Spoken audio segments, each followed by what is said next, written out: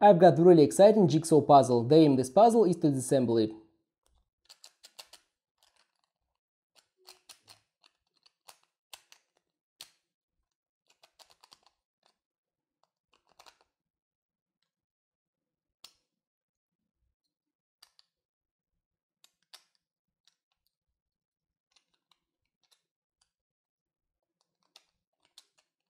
Subscribe my channel to see more exciting puzzles.